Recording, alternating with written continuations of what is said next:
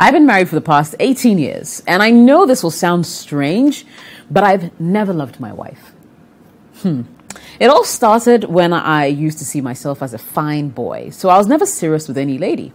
I later met my wife, who proposed to me, and even though I didn't love her, I accepted to marry her out of pity. We have five kids, but they all came out of lust. I later met a young lady, and that was the first time I've ever loved a woman. As fate would have it, she didn't love me. She told me we could only be friends. Jess, we've been friends for six years now, and I thought that she would eventually change her mind and accept my proposal. I basically provide her with everything she wants, including paying her rent. Her rent is about to expire, and she's asking me to pay for her again. She has started showing certain signs that she may be interested in me, but I don't trust her. I'm in a fix now. What do I do? Rosina, the way you are arranging yourself in the chair. Halle, Talk the guy, to me. the guy is confused. See, the guy is confused. How can you say that you're a fine boy and yet you have to settle with a girl who came to propose to you? Means that you, you, you, you don't be a fine boy. Because if you're a fine guy, you have, yeah, you know what I mean? So if you're a fine boy, you have so many ladies hitting on you, or you have the opportunity to hit on so many ladies, then why do you settle for somebody who came to chase you? It doesn't make sense to me. Out of and you say you you married her out of pity, and you fine boy, fine boy like that, you're able to stay in that pitiful marriage for 18 years. The, look, the marriage is an adult, can vote anywhere on the planet. That's the real, that's the reality on the ground. Mm-hmm. And I'm thinking that look, no man who doesn't love his wife enough is going to spend 18 years with a woman, pop five babies out of them, when you never really loved the woman and you felt you're a fine boy, you deserve better, X, Y, Z. On the contrary, see, because he's popped five babies from the woman, he's probably not seeing the woman as very attractive. He's probably not thinking that, oh, this woman can do some styles she can she used to do now, she doesn't want to do again. Maybe there may be one or two things. So he is rather lasting after this younger woman. He is rather now lasting after a younger woman because all he sees is fresh blood, young lady, the endless possibilities, what what he could experience that he hasn't experienced with his wife for so long.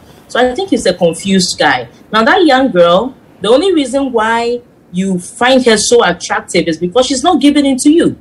And you see, men are chasers. So when you are chasing a woman and the woman is doing shakara, you realize that the hunt gets more intense because you are confused. You think you're a fine guy. You have to settle for somebody who came to propose to you. And when you look in the mirror, what you see is not actually what the situation is, but you think you are so fine. So you think you can have anybody. So now you are chasing after something that you find attractive. The thing know they busy you, and now you are you are you are hit. So you are intensifying that. look. The day he manages to land this girl, you lose interest in the girl because this is pure lust. And the girl is also playing him. This the rent is due, so she's probably returning calls. She's probably being nice. You pay the rent and see. We'll go back to uh, factory settings.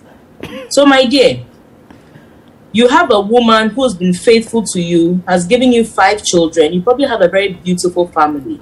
Concentrate on rekindling the love. You see, I keep saying that. Look, love is not a static thing. When you say you love somebody, it doesn't mean that every time the fire is there. Both of you, and it's not one party, both of you need to work at it daily.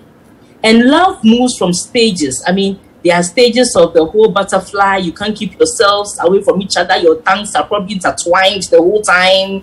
And then there are stages where love makes you take hard decisions, real decisions, forgive each other, do all these things. It goes through processes. And at some point, both of you need to decide that, look, listen, we've been doing this thing this way for so long. Let's put some fire and passion into our relationship. And then you can go a step further and decide to do something else out of something that both of you have never really done. But it, it kind of like, you know, brings that passion back into the relationship. Or you can actually do something that you did like 10, 15 years ago. And then all the memories keep rushing back and rekindles their marriage. So most couples, what happens is that you are doing the same thing all the time, concentrating on school fees, the children, nannies coming in and going out, and all manner of things, possible cheating, you know, then you end up losing the fire in the marriage and you think that you don't love your wife. You wait. You leave there, another man picks her up, and you now you start chasing her again. That's what I think. Hmm. All right. Um, uh, Olivia, let me come in studio. Okay. So, love sometimes is overrated, like I always say. I want to share a quick story with you. Hopefully, I'll be quick here. so, um, I heard the story from an amazing woman. She told me about how her parents were put together. Her mom was in the village. She, want, she wanted some other village crazy rascal boy, but it didn't work out. Mm-hmm. What happened was that they asked her to marry some other guy instead. Okay. On the wedding day, you should see the wedding photos. This woman stand, stood next to this man. She wasn't even smiling. She right. wasn't even happy. But her uncle, who advised her to marry this other guy, right, said to her, Look around you in this village. How many people do you see who have the opportunity to school in London, who have had the opportunity to work in London? So basically, she was asked to marry this guy who had a good life going on, a degree, he who was not extra you know, handsome, extra charismatic, or anything of that sort. But she listened. And how many years down the line, this guy, this marriage, this woman, they had five kids. The kids are all influential people. They made the marriage work. It wasn't based on love, it was just based on understanding, convenience, let's see, mm. circumstances. Right. But she didn't go cheating on him. He didn't go cheating on her. But today, they love each other so much. You see, it didn't start rosy. It didn't start. It was convenient. But what I'm saying is that you're this guy, right? You've been able to put this woman's beauty. However you want to look at it. 18, 18 years. Mm. You've married her. You've lasted after her. You claim that you're fine. Like Rosie rightly said, maybe the mirror is deceiving you. You're probably not fine because you were fine.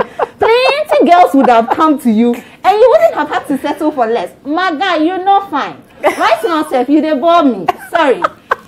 Because you are in an 18 year old marriage, right? And you're asking us whether you, be, you should be forking out money to, to some to, other girl to finance Rent. your six-year-old relationship that hasn't even been defined.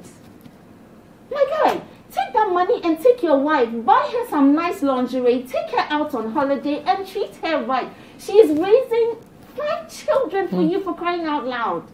Charlie, Charlie, Charlie, put your knickers on and stop wasting money. Like, you need to grow up. There's nobody who is going to be, I don't know, in love with you right now. This girl doesn't love you. Trust me, so many girls, they didn't love you all this while. And how many years down the line, you're, you're doing, you're now Mr. Otia for another woman, and the woman doesn't even like you like that. Like mm. it's all in your head. You need help. You need to get up. You need to grow up, my guy. You need to grow up. You're annoying me, Carl. You are not, the girl doesn't love you. She wants your money. That's all she wants. She doesn't really want you for you or anything. She just wants your money, my guy focus on your marriage, make it work. Charlie, this woman has been good to you. Sometimes have a have a heart. Mm. Have a heart for this woman. Focus on your kids, make it work. Spice up your relationship. You're able to get an erection and sleep with her. Why can't you make the rest work? I gotta leave something. Savvy, you have the final word on this one. Um, I'm a little bit concerned about the this guy's sense of reality. Um, I think the story he's telling himself versus reality are two different things. There's no ways in this lifetime that a man who thinks he's all that is just going to go and marry someone for the sake of it. Not possible. Not possible. But for some reason, he's decided to, that is going to be his narrative. And let me start by saying that this guy struggles. He's got a, there's no there's lack of self here. There's no self introspection. And I'm sorry to say, with a sprinkle of narcissism.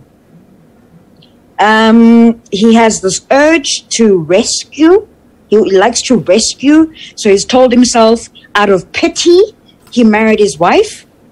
Um, you know, he's rescuing this girl again. Uh, they've known each other for six years. She said, let's just be friends. So there isn't even intimacy.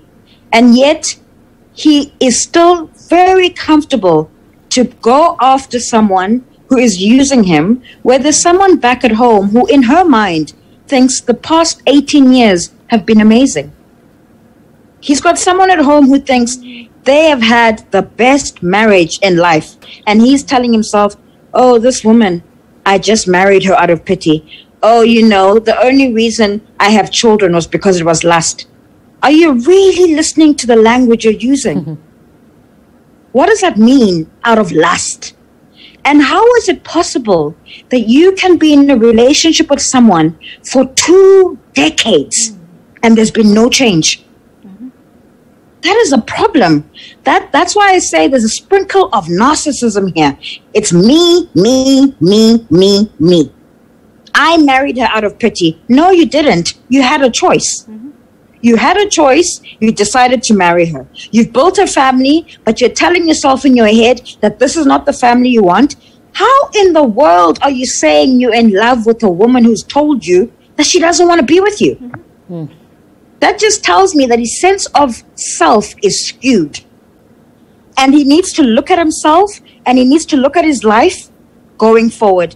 This doesn't make sense. And for me, the story is more about him and the stuff that he has to fix. There's nothing wrong with his wife. His wife has been there. They've got five children. There's nothing she can change because she's not even aware of this. But the fact that he hasn't worked towards having a wonderful experience in his marriage and his family, the fact that he hasn't worked towards loving this person that he's been with for almost two decades is not okay. I'm sorry. And then you're telling me for the for the past six years you've been having an emotional affair, mind you, on his own, because this woman that he has to pay the rent for is not involved in this emotional affair. So this guy lives in a fantasy world and not reality. And he's made up his own stories, and that's the truth for him. He's not looking at real life. And if he wants to be happy, I suggest that he looks within himself and decides what he wants for his life. But this is, is, is, is not reality. It's fun and games. I don't even have to talk about the girl with the rent who just wants to be friends. We're grown. My brother, you know the answer to that. I'm not even going to talk about that. I don't even know what you're doing. Or, or there's something you saw in this woman and you're telling yourself you're in love. No. I think fix yourself, sort yourself out. Right. Totally agree. I mean, I'll piggyback on Savvy's words fix yourself, sort yourself out. Because it's so obvious that this other woman is. You know, leading you on because she wants you to pay her rent. I mean, it's not rocket science. It's it's it's as, it's as bright as day. We can see that. Work on your marriage, though. 18 years, a woman dedicating her life, her body, everything to you, bringing you five solid kids.